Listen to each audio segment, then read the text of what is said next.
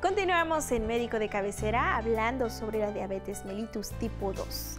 Y bueno, doctora Erika, eh, ¿cuáles son los niveles eh, normales, por así decirlo, de glucosa en la sangre? Los niveles normales, pues en ayuno, eso es bien importante, que se, haga una determinación en ayuno y vamos a tener que debe ser menor a 100. Entre 90 y 99 sería lo, ideal. ¿sí? Ya este, si comemos dos horas después de haber comido, debemos de tener una glucosa menor a 140. ¿Sí? Esos son los valores normales, ya valores que nos tienen que llamar la atención y que tenemos que acudir a una revisión es cuando tenemos un valor de entre 100 y 125 porque estamos ya con precisamente con un estado de prediabetes. En ayunas. En ayunas, y 125. y 125 en ayunas. Ya si estamos después de la comida o en cualquier momento del día mayor a 200, ya estamos hablando de un rango de diabetes. ¿no? Y si en ayuno tengo una glucosa mayor de 126, lo más probable es que ya esté también en rangos de diabetes. Entonces, mi chequeo yo me lo tengo que hacer eh, y ver que esté por abajo de 100 en ayuno para considerar que esté normal. Y podemos hacernos, bueno, este tipo de análisis no, ya no solamente lo hacen en un laboratorio, ahora existen estos aparatitos que es muy rápido pincharse el dedo y bueno, medir. ¿Son confiables también? Sí, sí son confiables, sí hay, de hecho el monitoreo así lo hacemos en, nuestros pacientes, ellos se compran el aparatito que se llama glucómetro y con eso ellos pueden ir revisando. Entonces eh, ya en las farmacias, ya este, en los centros de salud nos pueden tomar solamente la glucosa en ayuno con el glucómetro y tener una determinación exacta. Exacta, exacta. ¿Qué relación tiene? Ya habíamos hablado en el bloque anterior sobre esto, pero bueno, es eh, bastante importante mencionarlo, la relación que existe entre la obesidad y la diabetes. Las personas que tienen un grado de obesidad tienen eh, rigurosamente diabetes o pudieran tener diabetes. El que tenga una persona obesidad es un factor de riesgo. Sin embargo, la, gran mayoría de los pacientes diabéticos llegan a ser obesos, pero no implica que la obesidad todos sean, sean diabéticos. Es bien importante este tema de la obesidad, puesto que es uno de los principales factores de riesgo y que de ahí se derivan muchas de las complicaciones que llegan a tener los pacientes diabéticos. Un paciente obeso, con solo saber que tiene un índice de masa corporal mayor a 30, ¿sí? En el caso del adulto ya está en un grado de obesidad y es un paciente que solo por el grado de obesidad ya debe de iniciar un screening o realizarse estudios para descartar que no tenga algún problema con la glucosa. ¿Sí? Claro. Y puede ser el caso contrario, por ejemplo, hay personas que están en su peso, en su talla, y sí pudieran tener diabetes también. Sí, sí se puede dar. De hecho, esos pacientes que son delgados, de complexión delgada, que no vemos ningún factor de riesgo para diabetes y de pronto desencadenan diabetes, esos, esos pacientes lo más probable es que tengan algo que le llamamos una diabetes tipo LADA, es decir, una diabetes autoinmune, que es muy similar a la del niño, este, o la diabetes tipo 1, pero que se presenta en la etapa adulta. Ellos tienen un abordaje o unos estudios diferentes para descartar el tipo de diabetes. Ellos no entrarían dentro de ese tipo de diabetes tipo 2. Tipo 2. El tratamiento, doctora, ¿en qué consiste un tratamiento eh, contra la diabetes?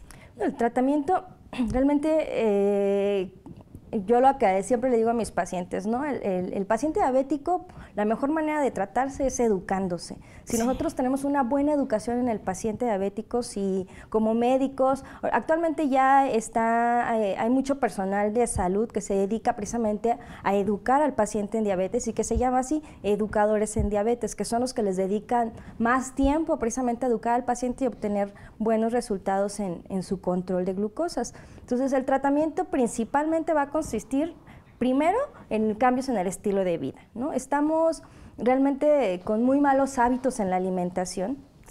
a veces el que le digan a uno, tiene diabetes, cree uno que ya va a dejar uno de comer todo, que no va a poder probar ningún alimento y que va a comer solo verduritas, ¿no? Y realmente no. Si sabemos eh, educarnos y saber la cantidad de alimentos que podemos comer, no hay necesidad de que solo comamos verduras, podemos comer de todo, que es lo más difícil, ¿no? Saber qué cantidad voy a comer, cuándo me tengo que detener y decir, no, ya no debo de seguir comiendo porque me hace daño, ¿no? Entonces siempre les recomendamos de inicio el plato del buen comer, ¿sí? Y explicarles y estructurarles un plan de alimentación. No es una dieta, porque hablamos de dieta y todo el mundo se asusta. Algo restrictivo, ¿no? Y no, es precisamente no, No, no, Es un plan de alimentación, solo saber cuánto debo de comer en el día, ¿sí? Para evitar complicaciones. De inicio, en el paciente diabético, pues tendremos que quitar un poco el azúcar, pero ya que esté bien controlado, el paciente diabético puede llegar a comer cierta cantidad de azúcar y en ciertos momentos del día, no siempre, ¿no? Pero el principal tratamiento va a ser esa parte, la alimentación. De ahí el otro pilar básico es la actividad física, La gran mayoría de los, de los pacientes diabéticos, y no solo el paciente diabético, en general la población tenemos muy poca actividad física, pasamos la mayor parte del tiempo sentados sin hacer ningún movimiento, ¿no? Y se recomienda que hagamos 150 minutos de actividad física en la semana.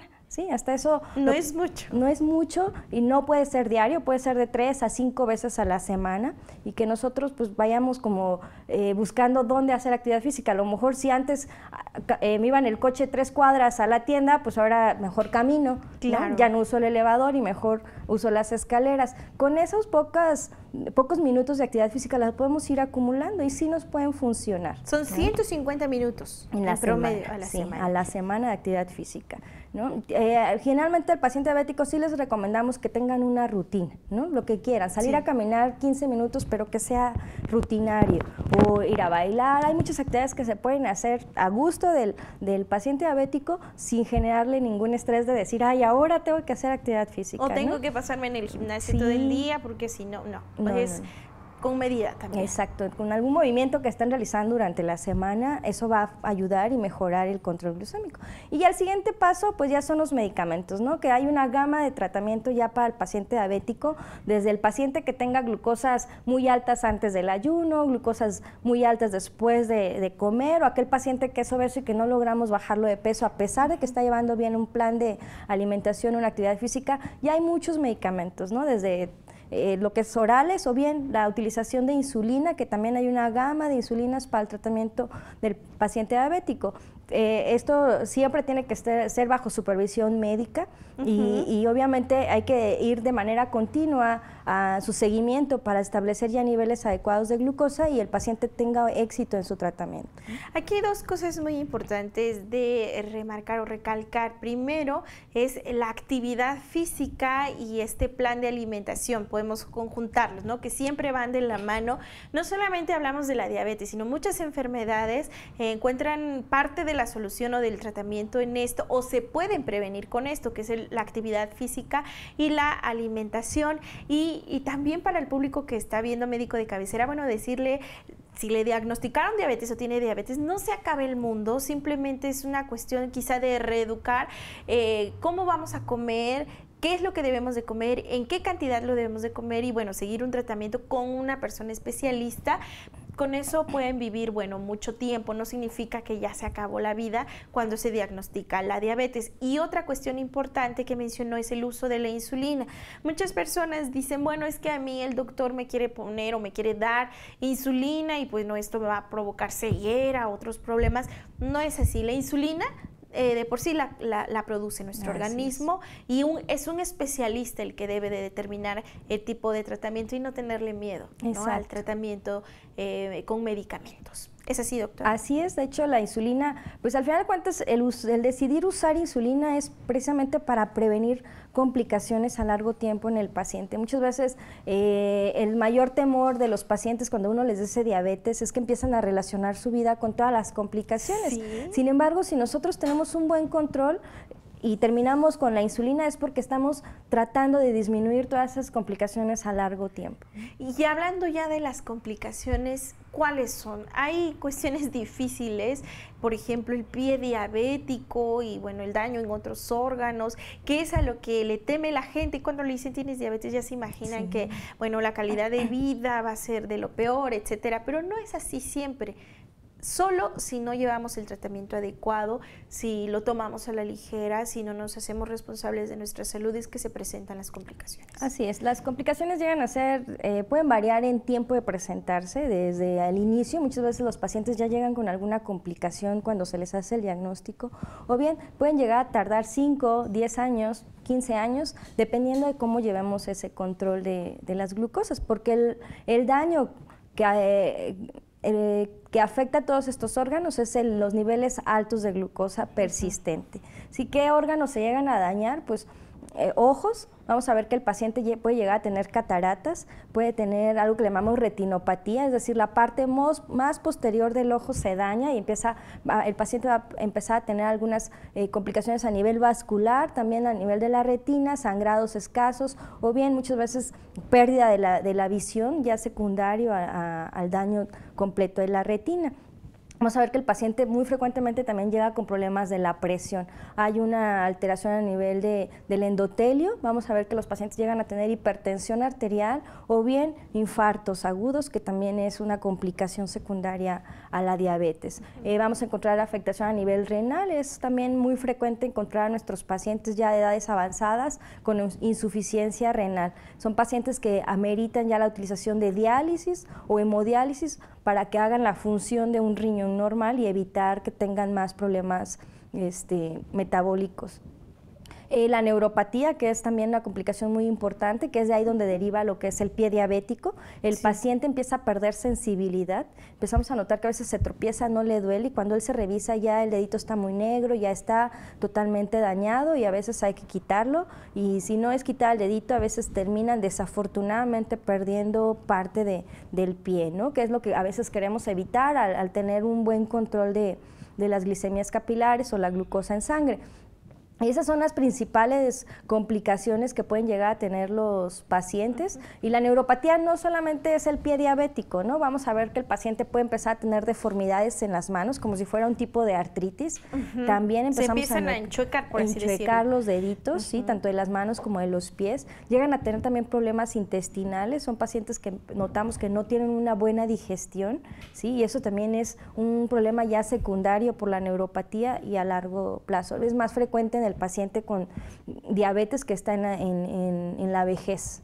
Claro, vemos que las complicaciones son muchas y que realmente, bueno, eh, merman la calidad de vida de una forma eh, considerable y resulta lastimoso igual para los familiares ver, ¿no? Como, eh, bueno, un pie se ve dañado de este a este grado y se le tiene que quitar o cómo pierden la visión, etcétera, etcétera lo importante de este asunto es que se puede prevenir. A veces hablamos, bueno, de las enfermedades y de los tratamientos y todo, y olvidamos o dejamos de lado la prevención que debería ser lo primero, ¿no? Lo de lo que deberíamos de estar al tanto día a día. ¿Cómo prevenir la diabetes? La diabetes se puede prevenir, uno, en el caso de la diabetes tipo 2, que sabemos que el factor de riesgo principal llega a ser la obesidad, es el que nosotros estemos haciendo nuestros chequeos cuando vayamos al médico. A veces vamos al médico porque tenemos gripa, y se nos olvida preguntarle cómo está mi peso, si me puede tomar la presión, ¿no? La glucosa. la glucosa, ¿no? Y solo nos dan el tratamiento para la gripa y ya nos olvidamos de lo demás porque en ese momento es nuestra afectación. Lo ideal es que nosotros tengamos eh, un chequeo general, ¿sí? Donde veamos cómo está mi peso, cómo está mi talla, ¿sí? Si estoy con índice de masa corporal mayor de 30, solicitarle al médico que nos pida una glucosa, un perfil de lípidos, que nos tome nuestra tensión arterial para poder nosotros saber cómo estamos, qué alteraciones tenemos y si hay manera de evitar que nosotros tengamos diabetes. Si todos nuestros estudios salen dentro de la normalidad, la repetición de los, años, de los estudios puede ser de manera anual o hasta cada tres años es lo recomendado. Claro. ¿sí? Más si yo tengo ya factores de riesgo, eso me incrementa más el riesgo para que yo tenga diabetes. ¿Qué otros factores de riesgo? Que en mi familia ya haya alguien que tenga diabetes. Claro. Nosotros por nuestra raza, este, ya per se... Ya es un factor de riesgo. Tenemos un factor de riesgo, ¿no? Si somos obesos, pues es otro factor de riesgo. Entonces vamos juntando puntitos para tener claro. diabetes. Entonces, lo principal es saber cómo estoy en cuanto a mi peso. Claro, es el factor de riesgo, bueno, que está presente en la diabetes mellitus tipo 2.